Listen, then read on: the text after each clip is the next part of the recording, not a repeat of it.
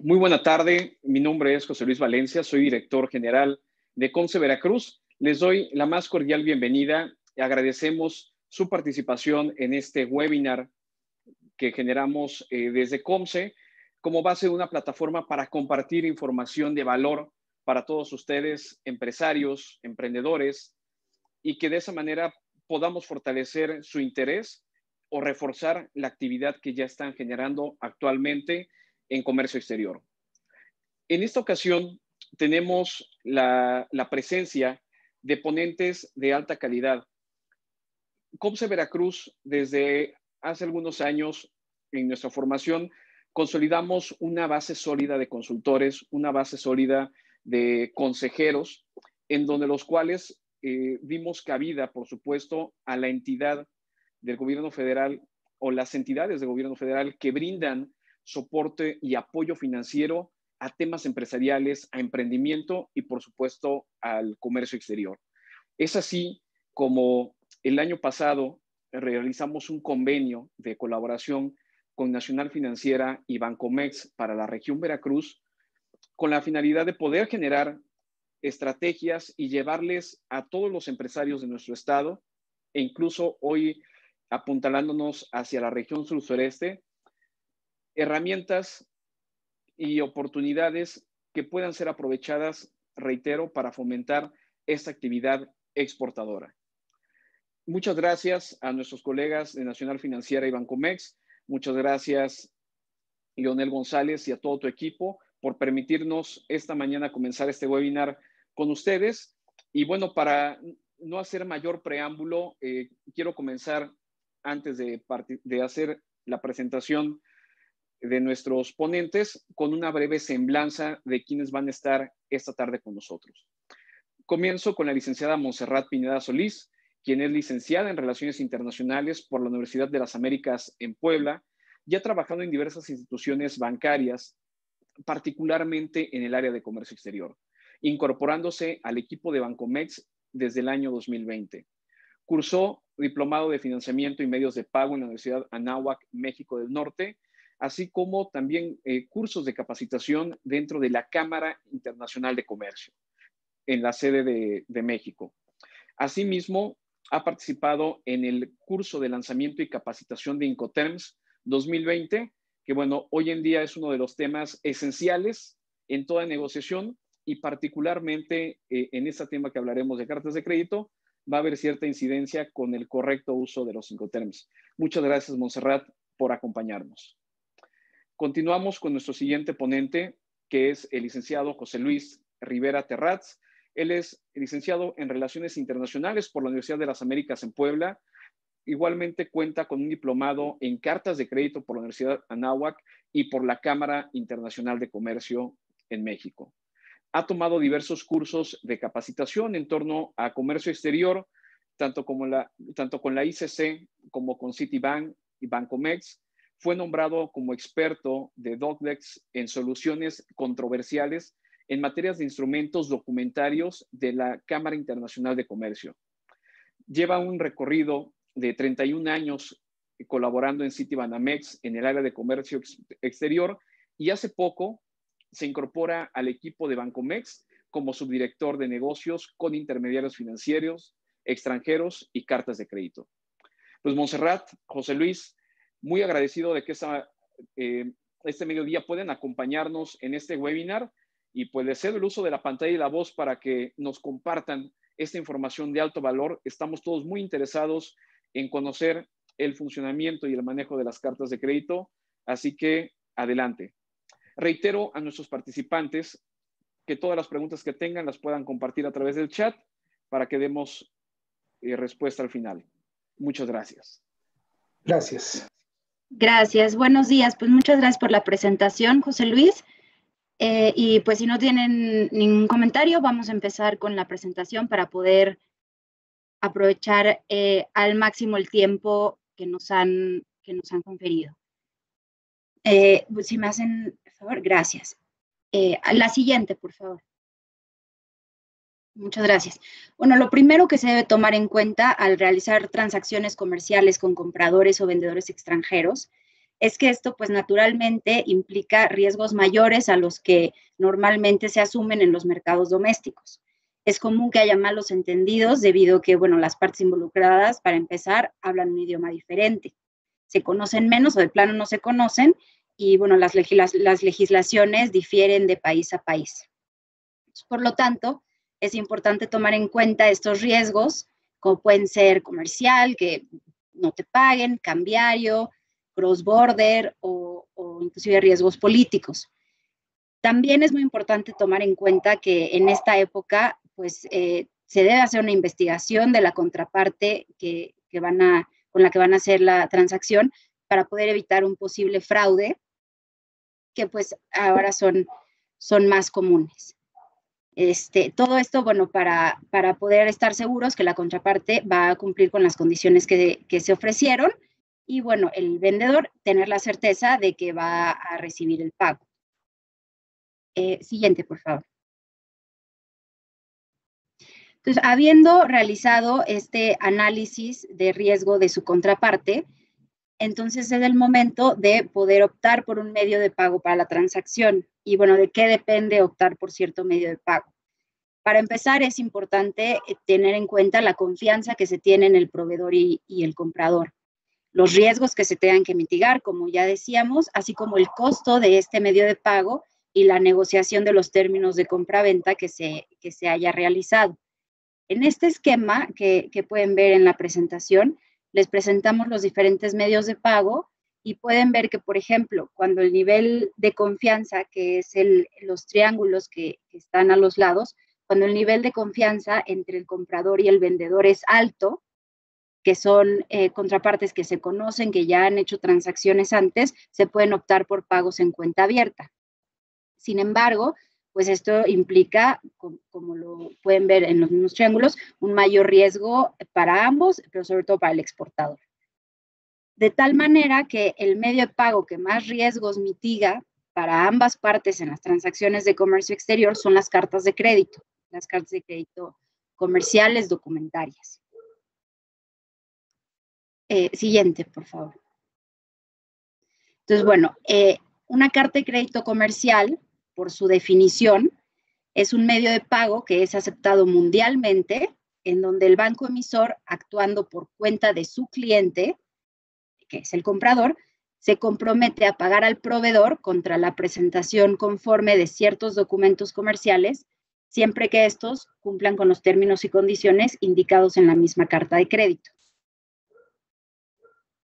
Eh, siguiente, por favor. Bueno, eh, las, las cartas de crédito están sujetas a las reglas UCP 600, que fueron emitidas por la Cámara Internacional de Comercio, y dentro de las cartas de crédito, los documentos que se requieren para, dentro de los términos y condiciones, estos, la revisión de estos documentos se rige por las reglas ISBP. Es, eh, se, se, sujetan, perdón, a la revisión de, de las reglas ISBP. Las cartas de crédito también se rigen de conformidad con las leyes federales de los Estados Unidos mexicanos. En la ley de instituciones de crédito, artículo 46, 47 y 71. Entonces, eh, es importante pues también tener en cuenta que a pesar de que se sujetan a las reglas de, de la Cámara de Comercio Internacional, también están regidas por la, por la ley de instituciones de crédito. Entonces, así como las cartas de crédito se sujetan a las reglas UCP 600, cada medio de pago de los que, de los que existen tienen unas reglas internacionales a las que se sujetan para poder estandarizar los, eh, pues, el uso de los medios de pago en, todo el mundo. Los créditos, los créditos documentarios, las cartas de crédito, se sujetan a las UCP 600, las cobranzas documentarias a, la, a las UCR 522, las cartas de crédito stand-by a las ISP 98 y las garantías a primer requerimiento se sujetan a las URDG 758. Todas estas fueron eh, emitidas, publicadas por la, por la Cámara de Comercio Internacional. Siguiente, por favor.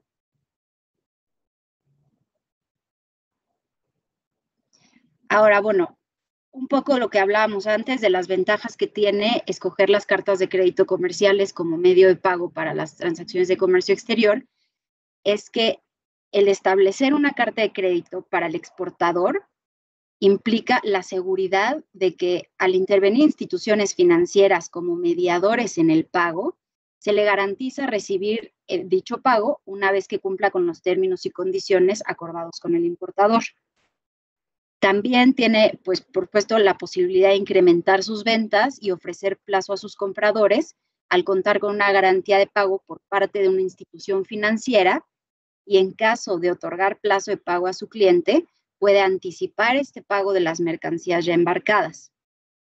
También, bueno, como ya lo platicábamos, el proveedor mitiga el riesgo comercial de sus clientes y en el caso de solicitar una carta de crédito confirmada, que veremos más adelante eh, el término confirmada, eh, eso mitiga el riesgo país, eh, pues del país en donde se encuentra el importador. También, bueno, tiene las, sus ventajas para, para el ordenante, que en este caso es el comprador de las mercancías, en donde, bueno, obviamente, pues al, intervenir una institución financiera reciben asesoría bancaria en operaciones eh, sofisticadas, operaciones nuevas, eh, para poder establecer los términos y condiciones de la carta de crédito. También, bueno, se aseguran de esa manera de que el beneficiario de la carta de crédito no va a recibir el pago hasta que se cumpla la presentación de los documentos requeridos en, dicha carta de crédito y también al usarla ellos tienen la posibilidad de obtener financiamiento para poder diferir el pago del importe. Eh, siguiente, por favor.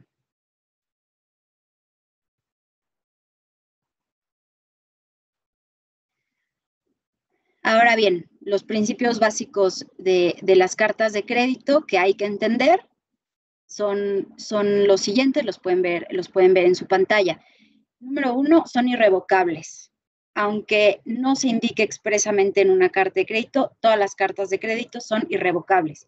Es decir, que no se pueden cancelar o modificar las condiciones de dicha carta sin el consentimiento de todas las partes son también independientes, lo que significa que es un instrumento aparte o bien separado de la orden de compra, del contrato de compra-venta en el que está basado, es un, es un instrumento aparte.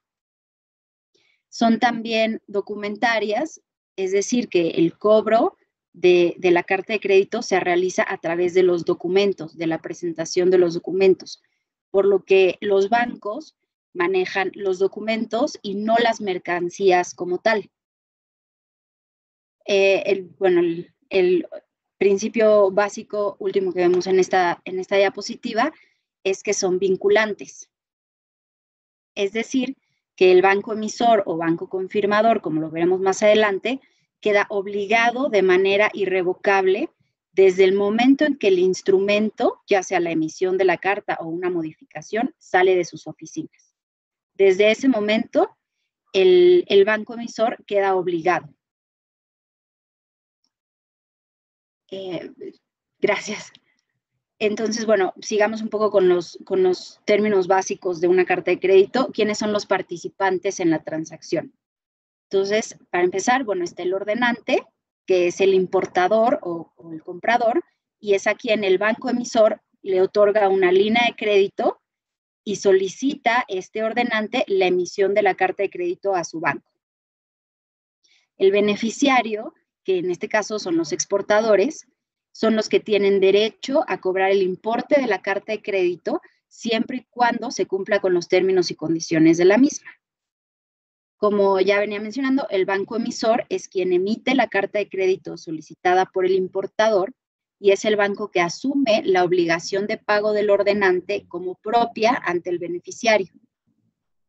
Por último, está el banco corresponsal, quien avisa o en su caso confirma la carta de crédito. Si confirma la carta de crédito, además de notificar el instrumento al beneficiario, también asume la obligación de pago. Entonces, bueno, ahí en caso de que sea confirmado, pues hay una doble seguridad. Siguiente, por favor. Ahora, la clasificación por su disponibilidad o bien cuándo se paga la carta de crédito. Las cartas de crédito pueden clasificarse eh, por su forma de pago, como, como lo pueden ver en la, en la presentación, pueden ser a la vista, en donde la carta de crédito es pagadera hasta cinco días hábiles posteriores a la presentación conforme de documentos. Es decir, cinco días después de que se hizo la revisión de los documentos y se encontró que todos están en orden, se paga la carta de crédito. En caso de que se opte por pagar a plazo, entonces la carta es pagadera en una fecha determinada con base a un evento en particular. Generalmente eh, se refiere a que la carta se paga tantos días a partir de la fecha de embarque o de la fecha de factura o de la fecha de presentación de documentos. Es un, bueno, es un pago a plazo, como, como lo dice su nombre. O bien se puede optar por un esquema de pago mixto, en donde se define un monto a pagar a la vista y el remanente se le otorga un plazo eh, a partir de la fecha especificada. Siguiente, por favor. Ahora, el valor de la carta de crédito, eh, del importe a pagar por sí mismo. Este se debe establecer, obviamente, previo a la emisión de la carta de crédito, si el importe será un monto máximo, es decir, que el valor de la carta de crédito es exacto por lo que el pago de la misma será sobre este monto. O bien, si el importe no será exacto y se establece un monto aproximado, entonces el valor de la carta de crédito podrá tener un porcentaje mayor o menor. Como es muy común que se establezca que el monto es cierto monto más o menos 10% para poder pues contener los, las fluctuaciones del valor que haya. En ese caso, es importante considerar para que para su emisión se considera el importe de la carta de crédito más el porcentaje mayor adicional de, eh, de cara a los bancos para poder cubrir el total del riesgo contingente.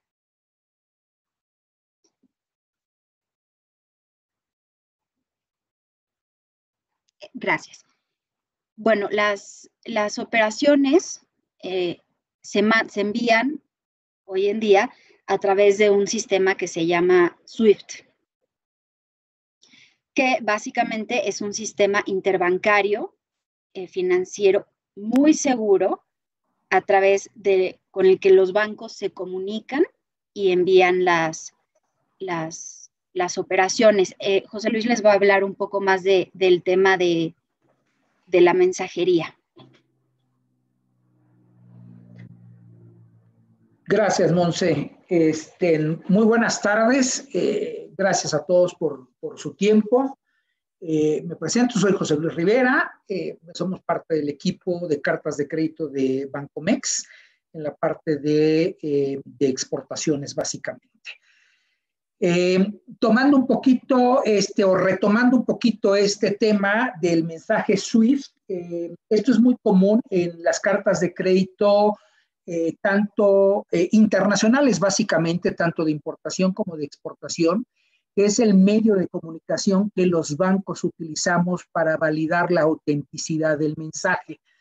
Hoy en día, eh, pues se ha sofisticado tanto el tema de los hackers y el tema de mensajes apócrifos y, cartas membretadas y firmadas por, por personas que no estén, están actuando debidamente, que siempre nuestra recomendación es, si ustedes van a exportar algo, deben recibir del banco con el que se reciba la carta de crédito el mensaje SWIFT junto con una carta que normalmente es una carátula donde les están notificando que han recibido un mensaje SWIFT, que este está autenticado y en esta carátula el banco notifica eh, si ha agregado su compromiso de pago o nada más están notificando la carta de crédito, que son los dos conceptos a los que Montserrat se, recibió, este, se refirió hace un momento en el concepto de notificada o de confirmada.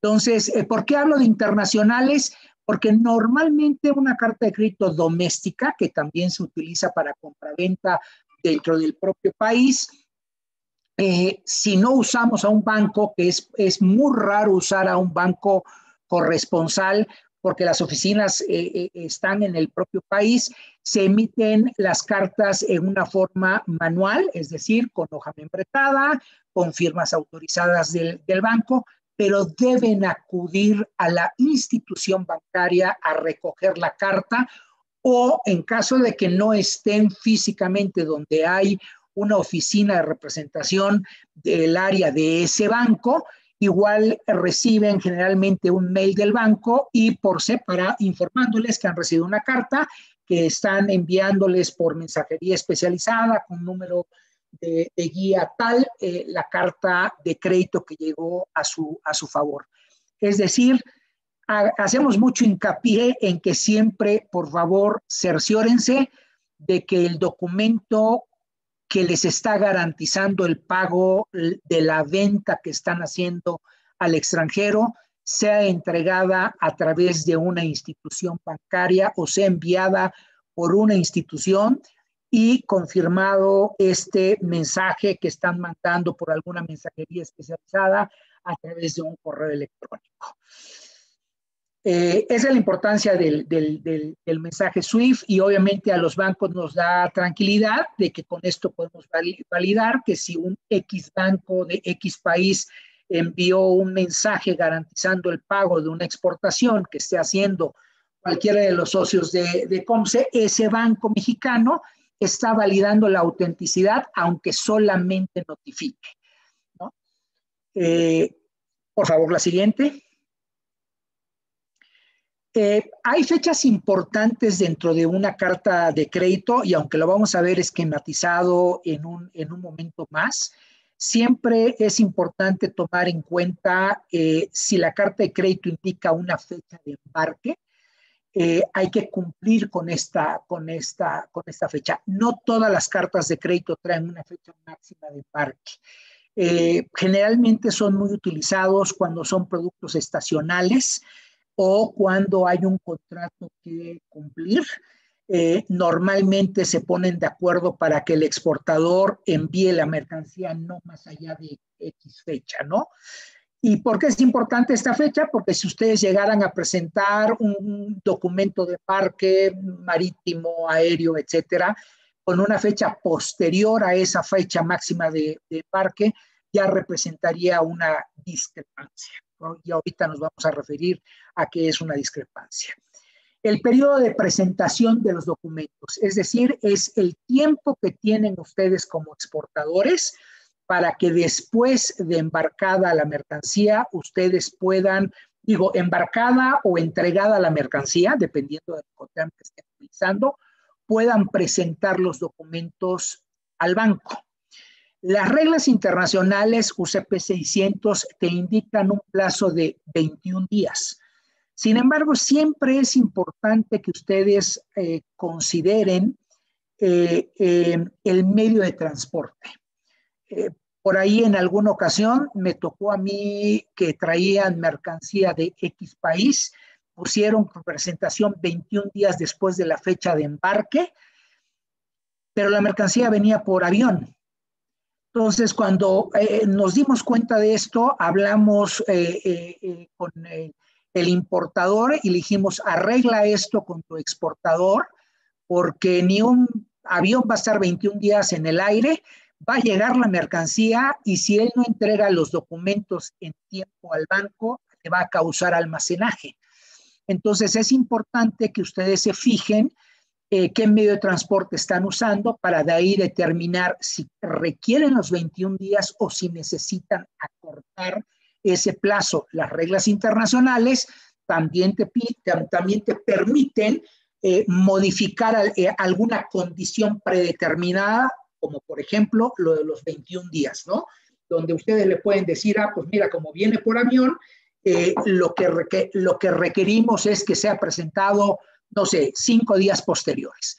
Pero también es importante que tomen en cuenta la documentación que están pidiendo, porque a veces hay ciertos documentos que se tienen que, eh, tienen que llevar un proceso, digamos, un visado de la, de la factura.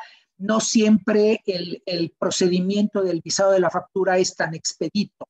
Entonces, deben ustedes ver no solamente el tiempo del el transporte que están usando, cuánto tiempo puede tardar en llegar, sino el tiempo en conseguir cierta documentación que se puede emitir posterior a que la mercancía sea embarcada, para que la suma de esto te pueda dar un tiempo razonable a ti para tener toda la documentación y poder presentarla en, eh, eh, en el banco en tiempo y forma, ya que de no presentarse durante esta vigencia, este, eh, te puede causar una, una, una discrepancia. El vencimiento de la carta de crédito. Toda carta de crédito tiene un vencimiento por su propia naturaleza. O sea, es, es el plazo que el importador o comprador le está dando al exportador para poder fabricar, entregar la mercancía en planta si es un ex work o embarcar, ¿no? Eh, embarcar eh, por el medio de, transporte que sea. Eh, obviamente una carta de crédito en la cual llegaran a presentar documentos una vez vencida la carta de crédito, esto ya es una discrepancia y ahorita seguimos hablando de qué es una discrepancia. Por tanto, es muy importante ver cuando, cuando estén negociando antes de que se emita la carta de crédito y cuando reciban la carta de crédito, que el tiempo que especifica entre la recepción y el vencimiento sea un tiempo suficiente para ustedes como empresa exportadora para poder llevar a cabo todo el trámite o todo el proceso de fabricación, embalaje, eh, eh, eh, este, el embarque de la mercancía, etcétera, ¿no? Y el conseguir los documentos adicionales que pudieran ser documentos que no generen ustedes o que necesitan ser validados por alguna autoridad y que esto pues lleva más tiempo. El otro, el otro concepto de tiempo importante es el de plazo. El de plazo que aquí hay dos conceptos, eh, eh, aceptación o pago diferido. Eh, es el plazo que ustedes como exportadores le otorgan a su comprador para que después de entregada la mercancía o después de facturada, como mencionó Montserrat, o de embarcada la mercancía en un X plazo, el banco les pague. Eh, porque hay dos conceptos, aceptación y pago diferido. En el concepto de aceptación, generalmente se tiene que presentar una letra de cambio. Eh, sin embargo, hay países que el hecho de generar la letra de cambio eh, genera un impuesto. Entonces, prefieren no manejar este concepto de aceptación y manejan el concepto de pago diferido, que tiene la misma fortaleza porque van a recibir un mensaje del banco diciendo hemos recibido documentos, están en orden o hemos recibido documentos y em, eh, han sido aceptadas las discrepancias y te vamos a pagar en tal fecha. La fecha está predeterminada contra el plazo que el exportador, o sea, ustedes, hayan otorgado. Entonces, en ambos casos tienen eh, la certeza de que el banco confirmante y o el banco emisor, dependiendo si es notificado o confirmada, se están comprometiendo a pagar. ¿No? Y en el, en el tema de la aceptación o pago diferido, pues considerar que es un plazo que ustedes están otorgando a su comprador para poder pagarles en el futuro. Y un concepto que es bien importante en este caso y que es algo eh, muy común que hacen muchas de las, de las empresas es que les gusta sumar el plazo del pago diferido de la aceptación a la vigencia de la carta de crédito. Y esto no es necesario hacerlo. ¿Por qué? Porque lo que va a hacer es que la carta de crédito tenga una mayor vigencia y obviamente que cueste más la comisión de la carta de crédito. Eh, luego vamos a hablar de las, de, las, de, las, de las comisiones. Si el exportador produjo, entregó la mercancía o embarcó y presentó documentos durante la vigencia de la carta de crédito, aunque la carta de crédito se extinga, o sea, venza, el compromiso de pago del banco emisor o confirmador no se extingue prevalece aunque la carta de crédito haya vencido. ¿Por qué? Porque la presentación fue en tiempo y forma. Entonces, recomendación número uno es vigilen el vencimiento, no incluyan el plazo del pago diferido o de la aceptación dentro de la vigencia de la carta de crédito, cuiden mucho la fecha de embarque para no excederse en caso de que haya una fecha de embarque, que no es algo mandatorio, y el periodo de presentación, procuren ajustarlo a los tiempos no solamente del medio de transporte, sino de toda aquella documentación que ustedes pudieran requerir para poder presentarla. Por favor, la siguiente.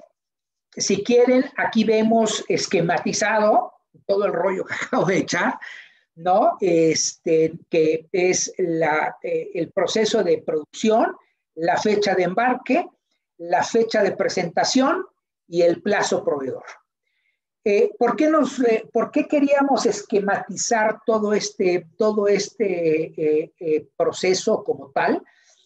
porque creo que es importante dentro de las negociaciones el que ustedes puedan definir el tiempo que van a requerir, ¿no? Digo, y eso en el supuesto de que si requieran los 21 días, en el supuesto de el, el, el tiempo de transporte, etcétera.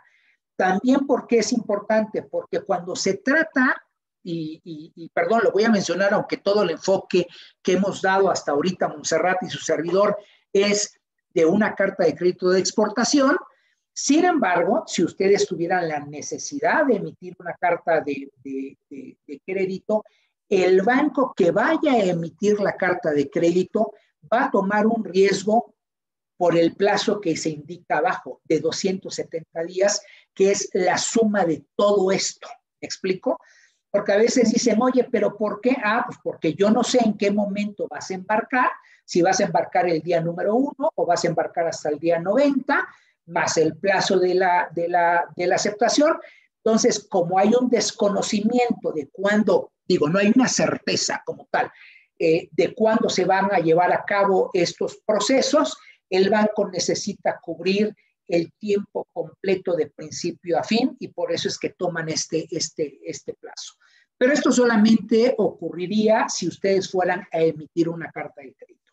Si seguimos bajo la mecánica de cómo hemos venido platicando, hasta ahorita, pues realmente a ustedes, eh, eh, ¿cómo se llama? Lo que les interesaría es determinar su tiempo de, producción, en caso de que haya producción, si no es que fuera una comercialización, su tiempo de embarque, el tiempo de traslado de la mercancía, más el tiempo que le hayan otorgado, si es que otorgaron un plazo diferido, si es un pago dista, como mencionó Montserrat en láminas anteriores, ustedes entregan documentos, eh, el banco, eh, si, es si es confirmada, el Banco Mexicano revisará documentos, determinará si están en orden o no, si están en orden, procederá hacia el pago y para esto la regla le permite al banco tomarse hasta, hasta cinco días a partir del día siguiente de la entrega de los documentos. A mí me gusta hacer mucho hincapié en esto porque cuando no hay suficiente experiencia o entra a una persona nueva a una de las empresas, piensan que el pago a la vista es entrego documentos y en ese momento me están pagando. No, hay que revisar que se hayan cumplido los términos y condiciones documentarios, como bien señaló Montserrat en, láminas anteriores. Por favor, la que sigue. Eh, bueno, aunque ya me referí un poquito eh, en, la plática, espero no estarme yendo rápido, sino pues, eh, la parte de preguntas y respuestas podremos, podremos ahondar un poquito más en algún concepto que ustedes este, quisieran, eh, eh, quisieran conocer a un, a un mayor detalle. ¿Qué es una carta de crédito avisada? Una carta de crédito avisada lo que significa es que el banco que emite, sea en el país que sea, es el responsable del pago el banco mexicano que recibe la carta de crédito nada más tiene la responsabilidad de validar la autenticidad de la carta y de entregar esta al beneficiario mexicano. Cuando el beneficiario mexicano entrega mercancía o embarca, dependiendo de Incoterm, presenta los documentos al banco avisador. El banco avisador no va a hacer ningún proceso de revisión de documentos. Eh, eh, algunos bancos hacen una revisión de temas de cumplimiento, o sea, que no haya algo sancionado por allá. Si todo está en orden, se lo mandan al banco que emitió para que el banco que emitió revise documentos. Y el banco que emite es el que determina si está en orden y hasta que reciba el banco avisador el dinero del banco emisor es cuando se paga esa carta de crédito. Obviamente la comisión por una carta de crédito avisada es eh, menor a una carta de crédito confirmada. ¿Qué significa confirmada? Ah, bueno, que el banco que emite le pide al banco mexicano que recibe la carta de crédito que añada un compromiso de, pago. Ojo, estoy, estoy utilizando la palabra añadir un compromiso de pago. O sea, no desaparece el compromiso de pago del banco emisor, se añade un compromiso de pago por parte del Banco Mexicano. Esto lo que significa, luego entonces, es que el Banco Mexicano, cuando reciba los documentos de ustedes como empresa exportadora, va a revisar los documentos y va a determinar eh, si los documentos cumplieron los términos y condiciones de la carta de crédito. Esto, si ustedes se fijan, Obviamente el pago va a ser más rápido porque la revisión se hace dentro del propio país. La comisión del banco confirmante del Banco Mexicano es un poco más cara que si fuera avisada.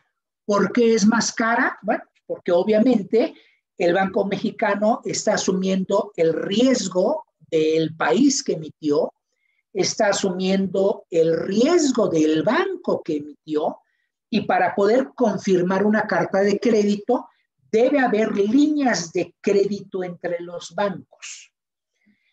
Eh, está asumiendo el riesgo de poder descontar. ¿Se acuerdan que les dijo eh, Montserrat en, en la plática que cuando ustedes exportadores dan un plazo, pueden solicitar el pago anticipado mediante un descuento y obviamente ese descuento lo hace el Banco Mexicano cuando ha confirmado la carta y los están en orden y obviamente el Banco Mexicano está corriendo todo este riesgo. Corre el famoso riesgo de cross-border, que para quien eh, no le es muy usual este, este concepto de cross-border, muy común dentro de los bancos, el riesgo cross-border es el riesgo de inconvertibilidad e intransferibilidad de la moneda. Es decir, que si en algún momento dado el país que emitió la carta de crédito tuviera algún problema eh, o decretara que su moneda no es convertible al dólar o al euro, en fin, el banco que confirmó estaría obligado a pagar y el banco que confirmó vería cómo cobrarle. O si tienen prohibido, hay un decreto de prohibición de transferir o de sacar dólares de ese país, esa también ya es una responsabilidad del banco confirmante en México. Entonces, yo siempre he recomendado que aun y cuando la carta de crédito es un medio bastante seguro, eh, procuren, en la medida de lo, de lo posible, que la carta de crédito sea confirmada, porque de esta forma están eliminando más riesgos que si fuera notificada.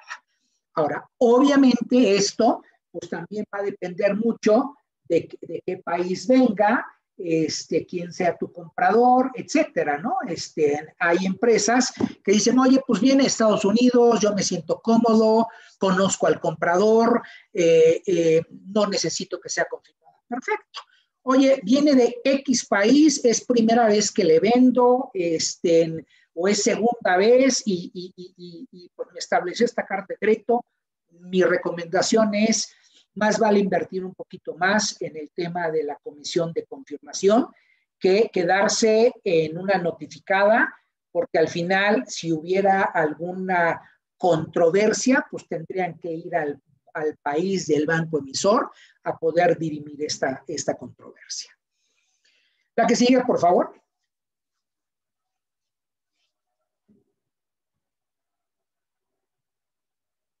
Ok. Eh, es muy claro que las autoridades de prácticamente todos los países se han vuelto muy eh, estrictos en el tema de procurar asegurarse que todas las eh, eh, transacciones comerciales sean transacciones comerciales legítimas como tal, que sí haya un, flujo de comercio, ya sea doméstico o internacional. Eh, y para ello, normalmente lo que se, como la carta de crédito es documentaria, eh, ya que no eh, acudimos los bancos a, los lugares de salida o de entrega de, mercancía. Entonces, lo que pedimos son documentos que hagan evidencia de que esta es una transacción comercial. Entonces, la factura es un documento obligatorio, mandatorio, que es, primero, lo que le va a dar el título de propiedad a quien está comprando. Segundo, a los bancos le va a permitir eh, eh, verificar que efectivamente hay una transacción comercial, que se está facturando un producto, que ese producto que se está facturando está dentro de los precios del rango de, mercado y que se está transfiriendo esa propiedad a un, a un comprador. El documento de embarque es un documento también mandatorio eh, en la medida de lo, de, lo, de, lo, posible, y ahorita voy a decir en la medida de lo posible, porque en las domésticas no, no siempre hay un documento de embarque. En las domésticas lo que se hace es pedir una certificación de entrega-recepción de mercancía. ¿no? Pero esto funge como si fuera un documento de embarque, aunque no se hace el análisis eh, eh, eh, de acuerdo a UCP 600, ya que no es en sí mismo un documento de embarque. Pero el documento de embarque lo que está haciendo es evidenciar que si hay un movimiento, un traslado de mercancía de un país a otro, o si fuera doméstica y si hubiera un talón de embarque, que no usaran medios propios, bueno, el documento donde hay una entrega-recepción de la mercancía y con esto estamos evidenciando que están entregando, están recibiendo y se la van a llevar a su, este, a su bodega, almacén eh, o lo que fuera. Eh, la póliza o certificado de, seguro, eh, si bien no es en estricto sentido exigible en la carta de crédito, a menos que se pida, este, este documento solamente se pediría si fuera, si estuvieran usando un Incoterm SIP o SIF, ¿no? Dependiendo del medio de transporte que estén usando. P al final o F al, final si es, este, si es eh, transporte marítimo o cualquier otro medio de transporte. Y las reglas internacionales, bueno, sugieren que siempre sea el seguro por el equivalente al 110% a veces eh, eh, no lo requieren, ah, digo, no lo requieren eh, presentar. Nuestra recomendación es que siempre se presente para tener la certeza de que la mercancía sí está viajando con el seguro correspondiente para cualquier tema de, de daño o pérdida de la mercancía. Y eso hago mucho hincapié porque también en lo personal, eh, eh, en alguna ocasión con, algún, con alguna empresa que exportaba, digo que importaba, perdón, eh, la mercancía que importó llegó dañada, llegó dañada porque le entró agua de mar al contenedor, el cual pues presentaba alguna anomalía en el contenedor. El cliente nos dijo, no pagues porque la mercancía quedó dañada y le dijimos, bueno, para eso es el seguro ¿no? Ya sea que lo haya contratado el exportador, si es que hubiera sido un CIF, o el que tú tengas tu póliza de, seguro si no usaste este Incoterm, pero la carta de crédito se tiene, que, se tiene que pagar porque cumplieron con todas las condiciones, ¿no? Este, y vuelvo a repetir, actuamos contra documentos. Y el tema del seguro es un tema muy importante que sí deben considerar el poder eh, eh, contar con ello, aunque lo puedan considerar como un gasto adicional, realmente es una protección que no tiene, eh, que, que, tiene un gran valor, ¿no? Este, también comento en alguna, en alguna ocasión, digo nada más para que vean, y creo que esto ilustra mucho, para que vean la importancia del, del, seguro. Un importador mexicano compró cinco tractocamiones en Estados Unidos, este, eh, le pedimos que hiciera, eh, que asegurara la, mercancía eh, y dijo, mira, van a cruzar el puente el día sábado. En el cruce del puente no puede pasar nada, van a estar en el patio de la gente aduanal sábado por la tarde, el domingo, el seguro lo voy a contratar desde el lunes. dijimos, oye, pasando la frontera puede ocurrir cualquier cosa. No, no pasa nada. Bueno, para no hacerles largo el cuento, el, cliente aseguró su mercancía a partir del día lunes. Pues, ¿qué creen? El sábado por la noche fue robado un tractocamión del el patio de su agente aduanal. Y simple y sencillamente por ahorrarse dos días de seguro. Entonces, eh, a mí me gusta platicar este tipo de anécdotas porque fue todo un caso este, eh, donde pues, yo creo que no hay eh, eh, dinero más caro que el que no se invierte en el momento eh, para protección de la propia compañía y de lo que está comprando. La letra de cambio, pasando al último concepto, la letra de cambio es, una, es un documento que sí es una aceptación, aceptación, cuando hay un plazo, se debe presentar. Obviamente del otro lado existe una serie de, de documentos que eso ya queda en la negociación del importador-exportador, si deben presentar o no.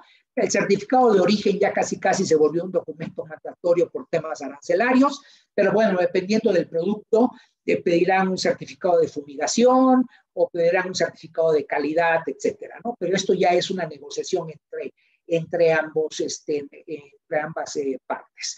Si el exportador presenta documentos que no vengan relacionados en la carta de crédito, lo que hacen los bancos es hacer un lado ese documento, ese documento no es revisado, ese documento puede ser devuelto al exportador, ya que no es un documento que viene, que venga requerido dentro de la carta de crédito. Entonces, siempre incluyan todo lo que ustedes realmente necesiten. Perdón, la que sigue. Bueno, eh, este es el tema y, un cuadro muy simple de, de, Incoterms. Eh, Incoterms es todo un tema. Este, la Cámara de Comercio Internacional, la ICC México, eh, ofrece cursos que mínimo son de dos días para poder hablar de los famosos Incoterms.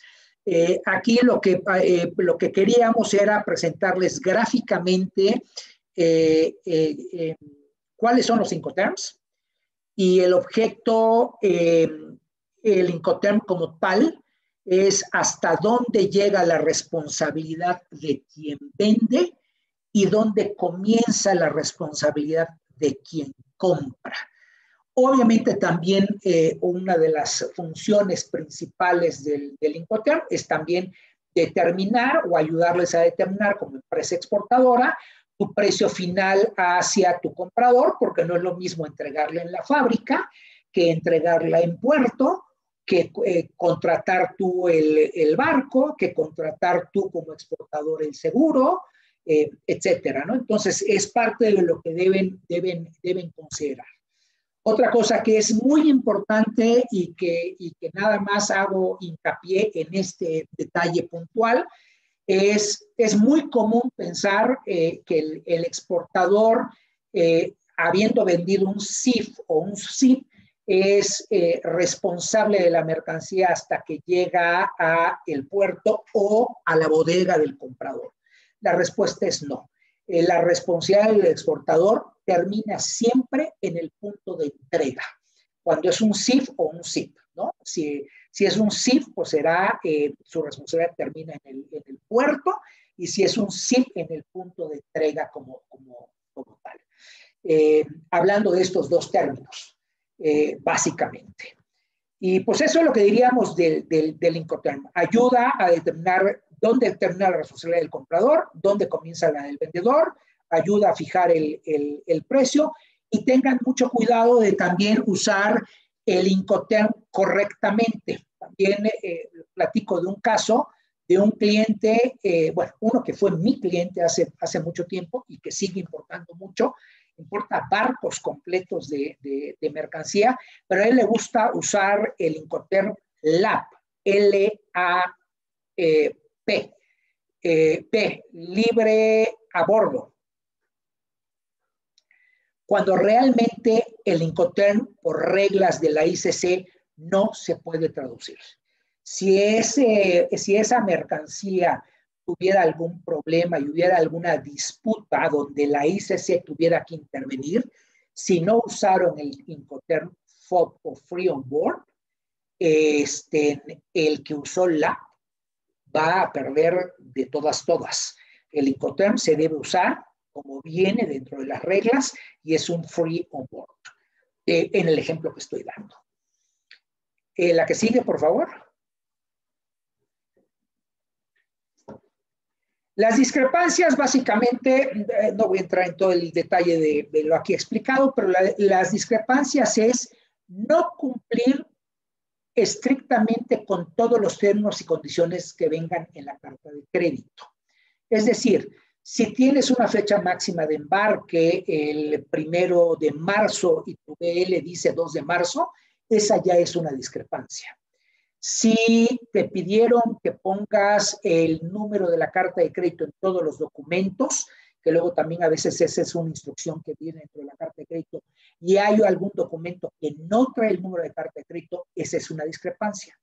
Hay discrepancias corregibles que son de aquellos documentos que ustedes como empresa exportadora generan, pero hay discrepancias no corregibles, ¿no? Como el, un embarque tardío, o como haber asegurado la mercancía ya cuando el barco estaba en alta mar, si es que lograron hacerlo.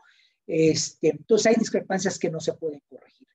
Algo que es muy importante es cuando existe una discrepancia, la obligación del banco emisor y o confirmador de pago se extingue y hasta que la discrepancia es aceptada por el importador y pagada la carta de crédito, es y recibido el dinero por parte del Banco Mexicano, es cuando ustedes recibirían su dinero. Por eso es muy importante cuidar los términos y condiciones que vengan reflejados en la carta de crédito y que estén acordes a lo que ustedes hayan negociado. Y si alguna condición no van a poder cumplir, pedir con antelación alguna modificación a la carta de crédito.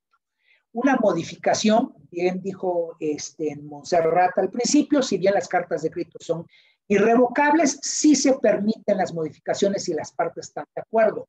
La parte más importante para estar de acuerdo son ustedes como exportadores.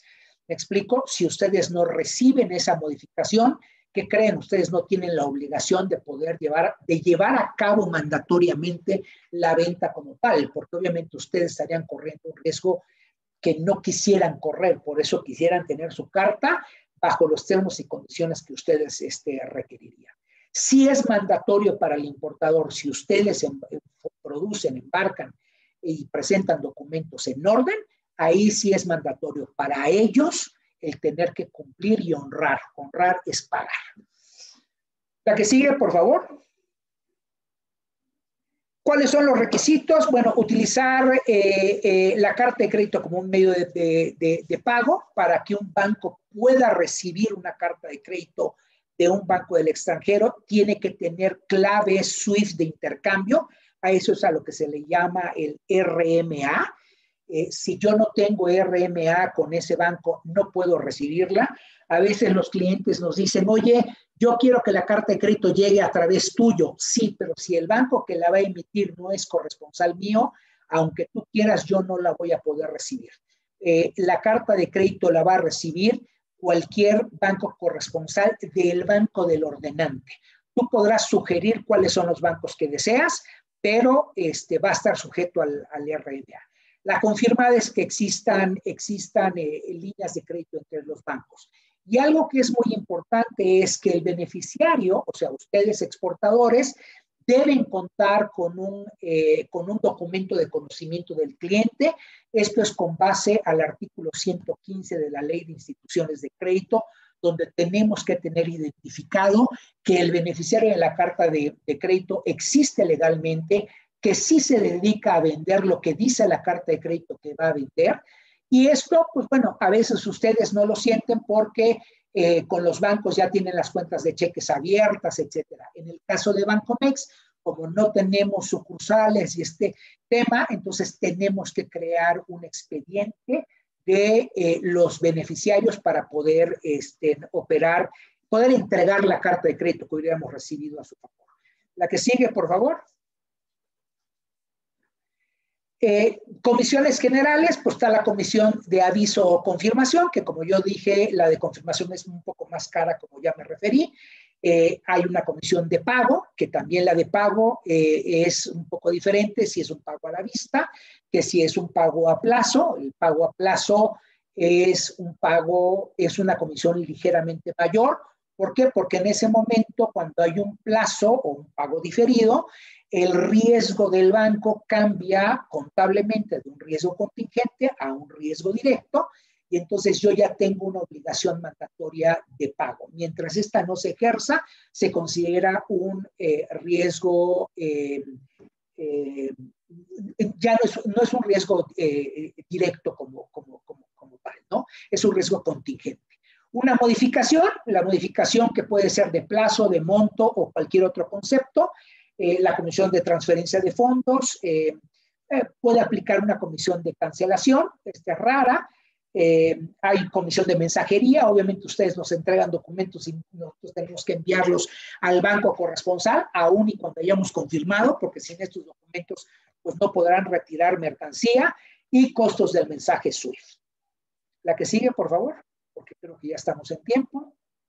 Para terminar y bueno, eh, sin entrar en tanto detalle, este es el flujo de una carta de, crédito donde primero acuerdan entre comprador y vendedor los términos y, condiciones. El importador o comprador le pide a su banco que establezca una carta de crédito que recibe, en este caso Bancomex.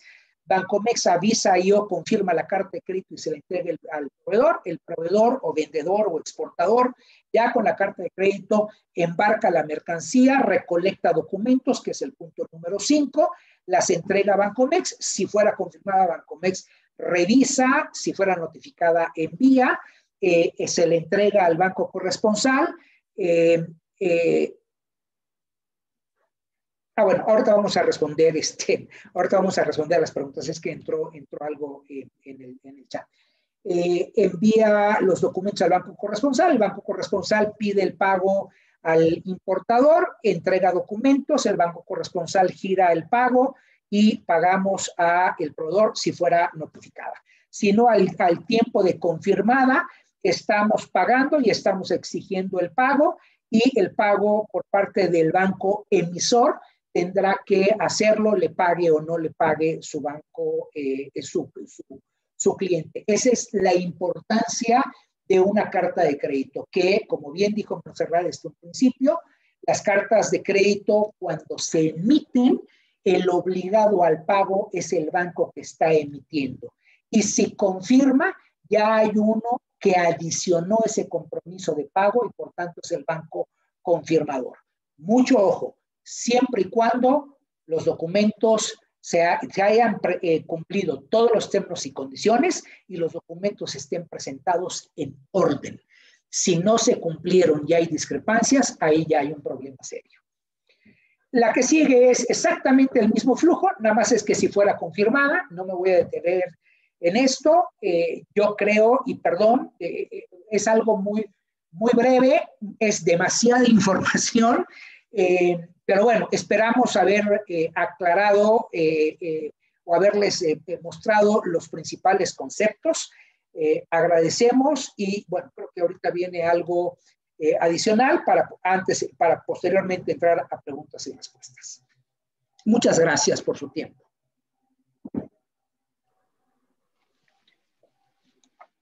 Muchas gracias, José Luis y Monserrat, por la presentación fantástica información la que nos eh, compartieron. Y bueno, antes de pasar a preguntas de parte de nuestros participantes, quisiera cederle el uso de la voz y de la pantalla a nuestro consejero, el licenciado Hugo Leonel González Castillo, director para Veracruz de NAFIN y Bancomex, para que nos dé unos comentarios. Adelante, Leonel. Estimado José Luis, muchísimas gracias, muy buenas tardes. Muy buenas tardes también a todas las personas que están conectados, que nos hicieron favor de escucharnos el día de hoy. Pues nada más, eh, rápidamente felicitarlos, felicitarlos, José Luis, reconocer que Comce Veracruz ha tenido un trabajo muy importante, sobre todo para poder llevar temas de actualidad, temas de interés a las MIPIMES que quieren pues sobresalir, que quieren incorporarse a, a, los mercados internacionales. Enhorabuena, sigan por favor con esta muy buena labor que están haciendo. También felicitar a Montserrat y a José Luis que nos han dado una plática muy, muy buena, muy importante, pero sobre todo muy valiosa para que las empresas que están relacionadas con el comercio exterior tengan herramientas que les permitan fomentar eh, este, este comercio. Muchísimas gracias. Y bueno, pues nada más quería ponerme a sus órdenes, eh, poner a sus órdenes la oficina de representación estatal que tenemos en Veracruz para todas aquellas empresas que quieran, que necesiten solicitar un financiamiento o que se quieran acercar por algún tema tanto de capacitación como de asistencia técnica. Estamos con todo gusto para atenderles. Los datos los están viendo en pantalla. Ahí está el teléfono de mi oficina.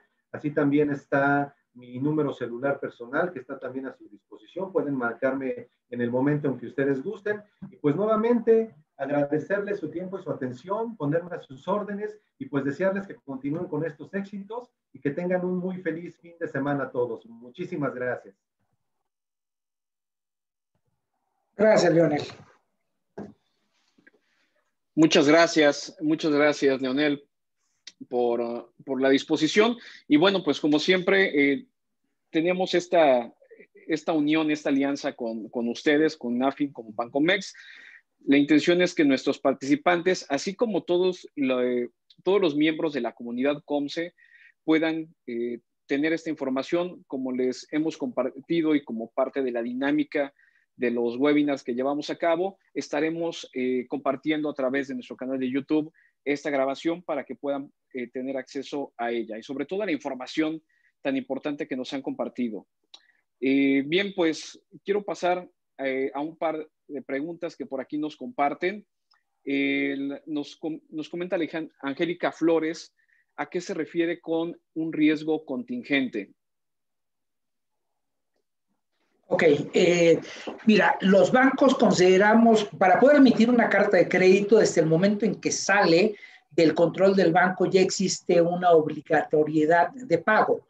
Sin embargo, eh, eh, nos referimos como un crédito contingente dentro del banco porque no sabemos si esa carta de crédito se va a ejecutar o no. Entonces, eh, se clasifica contablemente dentro del banco como un riesgo contingente. En el momento en que se ejerce la carta de, de crédito, si se paga, se elimina el riesgo y se acabó porque es un pago vista. Si hay un plazo de pago, entonces se convierte en un riesgo directo porque yo banco ya tengo una obligación de pago a una fecha futura. Entonces, el riesgo contingente, se usa la palabra contingente contablemente porque queda fuera del balance del, banco en virtud de que no sabemos si el exportador va a ejercer o no la carta de crédito. Como dije eh, al final, si bien para el importador es mandatorio pagar la carta de crédito si el exportador la ejerce y, los documentos eh, están en orden, para el exportador no es mandatorio el tener que ejercer la carta de crédito. Y se podrán preguntar, bueno, ¿y por qué no ejercería yo una carta de, de crédito si ya estoy en esto? Bueno, porque de repente puede ser que de la noche a la mañana la materia prima se haya ido al doble o haya habido alguna evaluación y se te haya subido y digas, pues prefiero no vender, pues agarras la carta de crédito y no la ejerces y no embarcas y no llevas a cabo esa transacción comercial. Digo, estoy hablando de, de, posibles supuestos, no estoy diciendo que lo hagan, ¿me explico?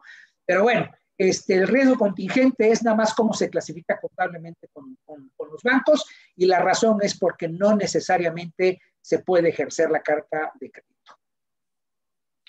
Muchas gracias, José Luis. Y, igualmente quiero aprovechar para compartir un par de, cuestionamientos igualmente de Angélica. El primero es, ¿cuál es el TIE? Y el segundo es, ¿cuánto es el tiempo del proceso para la obtención de la carta de crédito? A ver, ¿me puedes repetir la primera, eh, la primera pregunta? Porque esa no ¿Cuál, no, no ¿Cuál es el TIE? ¿El TIE? Sí. No sé a qué se refiere con TIE, perdón, ¿eh? No te preocupes. Angélica, si pudieras especificarnos más sobre esa pregunta. Y bueno, la siguiente que nos hizo es cuánto es el tiempo del proceso de la carta de crédito. Ah, ok. ¿Cuál es el tiempo? Ok. El tiempo. Bueno, el, tiempo de la carta de crédito va a depender primero del que la, eh, de que el quien ordene en el extranjero, ¿no? Cuánto tiempo se lleve el banco extranjero, eh, bueno, el comprador en llenar la solicitud, el banco extranjero en emitirla, etcétera. Eso depende de cada banco. Este, eh, Bancomex en lo general, cuando recibe una carta de crédito, su proceso debe ser de 48 a 72 horas cuando mucho. Nada más que mucho ojo. Acuérdense que es importante que hay que tener un expediente de conocimiento del cliente. Como en el caso de, de, de, Bancomex no tenemos sucursales, no eh, tenemos cuentas de cheques, etcétera. Entonces, si la empresa no ha operado anteriormente con Bancomex, no tengo un expediente, y me voy a, voy a tardar tanto en entregar la carta de crédito como la empresa exportadora me entregue toda la documentación que me exige la regulación mexicana para crear el, el, el, expediente. Pero si partimos de que el cliente tiene ya un expediente conformado, en un plazo de 48, máximo 72 horas, se estaría entregando la carta de crédito. Una vez que, la que se ha embarcado, producido, eh, producido, embarcado y presentar documentos, si la carta de crédito es confirmada, el, banco debe revisar entre 48 y 72 horas para determinar si están en orden, si es que fuera confirmada. Si no fuera confirmada, en 48 horas estaría metiendo los documentos a un sobre y los estaría enviando al banco corresponsal.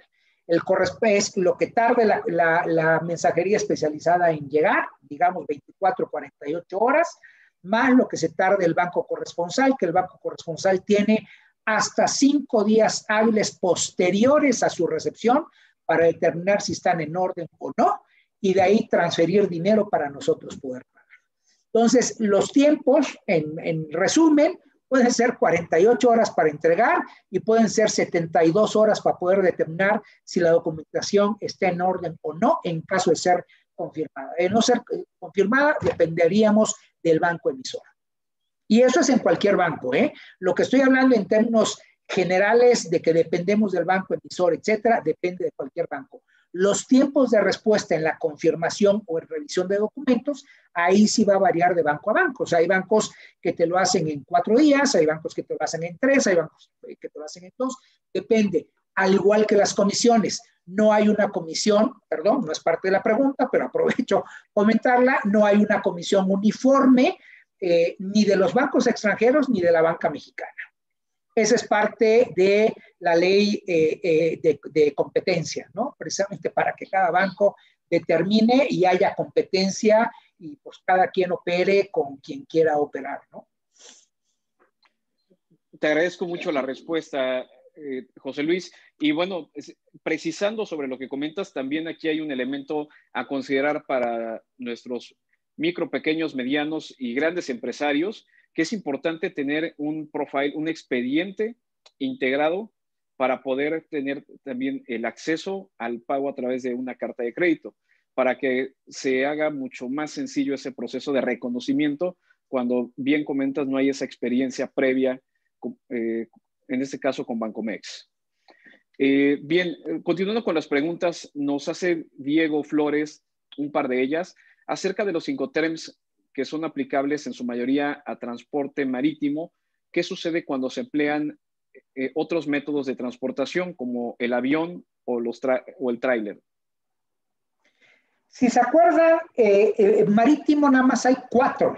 Este, y se acuerdan todos los demás que no son, y no sé si quieran proyectar la, la, lámina de, de, Incoterms, este, ahí venía definido cuáles son marítimos y cuáles son, no es que no sean marítimos los otros, los otros también se pueden utilizar para, para, marítimos. Eh, lo que pasa es que hay cuatro Incoterms específicos para marítimos y por eso es que se recomienda usar, voy a poner el ejemplo del CIF, el CIF, que es el Cost Insurance and Freight, ese es marítimo en particular. Si se fijan, de su lado, eh, bueno, viendo la pantalla, de su lado derecho, toda la primera parte, que es el X-Work, el FSA, el CPT, el ZIP, el DAP, el DPU y el DDP, eh, está em, eh, disponible para cualquier medio, incluyendo el marítimo. Pero los de abajo son específicamente para marítimos. Hay variación. Eh, si utilizas un un FCA en vez de un FAS, ¿no? O si utilizas un SIP en vez de un SIF, puede haber pequeñas variantes de las responsabilidades de hasta dónde o, a partir de qué momento estén, eh, entran. Pero eh, puedes usar cualquier, cualquiera de los, eh, de los cinco terms de la primera parte, incluso para el propio marítimo. Gracias, José Luis. Igualmente, te invitamos, Diego, eh, dentro de nuestra biblioteca de webinars, desarrollamos uno especializado sobre el correcto uso de Incoterms. En este webinar, igualmente, compartimos información muy concreta sobre eh, las funciones de cada uno de ellos y cómo aplicarlos efectivamente para una eficiente eh, correlación entre importador y exportador. Y bueno, esto también es fundamental porque la definición de obligaciones sobre todo en, los momentos de entrega, pues va a, definir también el momento en que se pudiera eh, solicitar la aplicación de esta carta de crédito, el, reclamo del pago a través de la carta de crédito. Eh, José Luis, nos preguntan igualmente eh, cuál es la, la, carta de crédito stand-by. Ok. No nos referimos a la carta de crédito stand-by y ahorita hablamos más bien de la carta de crédito documentaria. La carta de crédito stand-by es una carta de crédito de garantía. Es el equivalente, por decirlo de, alguna forma, a una fianza. Eh, acuérdense que las fianzas y los seguros están regidos por una ley y lo que son las cartas de crédito que manejan las instituciones bancarias estamos regidos por otra ley como nosotros no somos afianzadoras, este, eh, tenemos un producto similar que es el stand-by o garantías a primera demanda, que son las URDG 758 o las ISP 98, que parte de las reglas que mostró Montserrat en, el, en, el, en, el primer, en las primeras láminas. Eh, ambas están también eh, regidas o reconocidas dentro del artículo 71 de la Ley de Instituciones de, de, Crédito. Esta carta de crédito stand-by normalmente funciona como un seguro como tal, ¿no? Donde la negociación entre comprador y vendedor se hace por fuera, el que quiere asegurarse el pago o el cumplimiento del contrato manda esta garantía y esa garantía solo se ejerce si hay un incumplimiento. De ahí en fuera, toda la negociación y todo, y todo el proceso de exportación, importación o de construcción, si se tratara de una obra, este, se hace por, y los pagos se hacen por, por fuera. Siempre doy el ejemplo y lo asimilo como al seguro de tu coche, ¿no? Tú contratas un seguro, que en este caso se llama stand-by, pero no por eso sales a estrellarte saliendo de, la agencia para poder ejercerlo, ¿no? Tienes el seguro por si algo ocurre. Obviamente, cuando es un exportador, este es un instrumento eh, que conviene mucho, pero no cualquier importador lo acepta. ¿Por qué? Porque a gran diferencia de una fianza, en un stand-by, este se paga y se ejerce contra una simple declaración. Yo, José Luis Rivera, declaro que Montserrat Pineda incumplió en el pago de la factura 100 por 100 mil dólares. Contra esta declaración que yo presente junto con la carta, el banco está obligado a pagarme. ¿Y qué es lo que pudo haber pasado? Que Montserrat sí me pagó por fuera y yo haber presentado el reclamo de incumplimiento. Ya vendrá un juicio por fuera de la, del, del, del stand-by.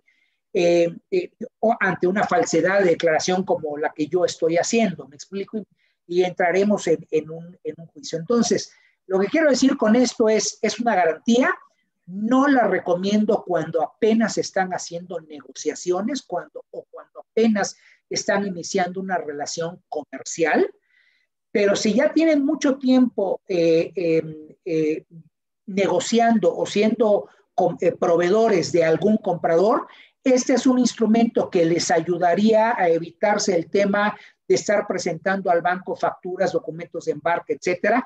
Todo lo harían directo, exportarían, mandarían al, al importador los documentos, el importador les gira el dinero y ustedes tendrían un cheque al portador a su favor con una vigencia que ejercerían si el importador les llegara a incumplir en el pago.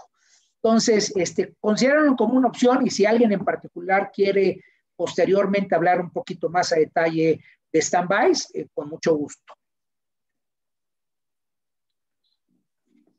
Excelente, José Luis. Pues muchísimas gracias por esta, por esta precisión sobre otro tipo de cartas de crédito que igualmente sirven para dar seguridad y certeza a esta relación comercial. Me parece que no hay más preguntas. De cualquier manera, les invitamos a todos nuestros participantes que se pongan en contacto con nosotros a través de redes sociales, a través de nuestros medios de contacto oficial. Igualmente ya cuentan con los datos de Nafin y Bancomex aquí en el estado de Veracruz. A través de Leonel González pueden tener eh, mayor información. Salvador, adelante, compártenos tu pregunta. Sí, buenos días. Yo tengo un, una pregunta que no me quedó muy clara eh, es relacionado a la tarjeta de crédito. ¿Cómo se puede combinar el pago aplazado de una tarjeta en una divisa distinta a euros con la gestión de esta misma divisa? Eh, eh, perdón, este, eh, no hablamos de tarjetas de crédito nosotros, hablamos de un medio de pago internacional que son las cartas de crédito. ¿Eso es a lo que te estás refiriendo? Sí, a las cartas de crédito. Eh, ¿Me puedes entonces repetir la pregunta porque me quedé con tarjeta de crédito y entonces ya no estén, ya no me quedó clara. ¿Podrías repetírmela, pues, si me haces favor? Sí, eh, la pregunta es cómo se puede combinar el pago aplazado de una carta de crédito en una divisa distinta de euros con la gestión de esta misma divisa.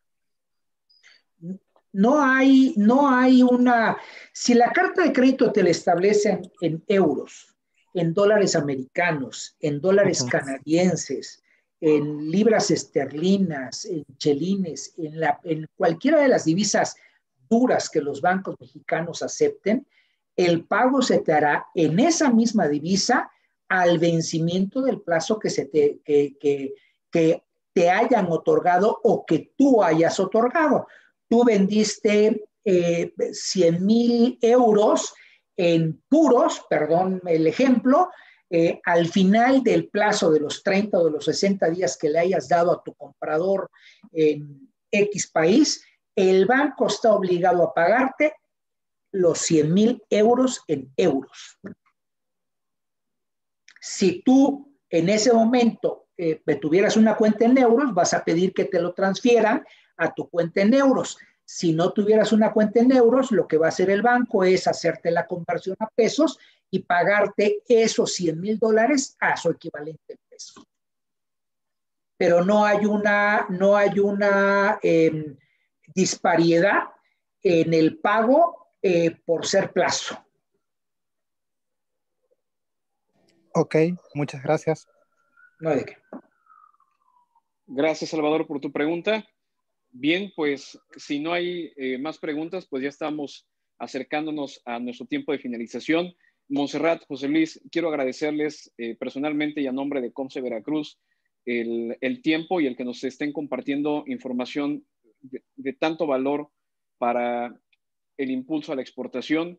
Estamos seguros que nuestros asociados, los empresarios que están realizando operaciones de comercio exterior y sobre todo que ya están exportando, van a tener este acercamiento con Leonel para que puedan contactarlos a ustedes y tener mayor precisión sobre las herramientas, tanto para recibir como incluso para poder eh, solicitar estas cartas de crédito. Pues les agradezco eh, muchísimo el tiempo. Leonel, gracias por la disposición, como siempre, a todo su equipo de NAFIN y Bancomex. Igualmente a nuestro equipo de Comce Veracruz. Gracias, chicas, por la labor. Y a los participantes, esperamos que esta información que les trajimos el día de hoy haya sido de su completo interés. Estoy seguro que así fue.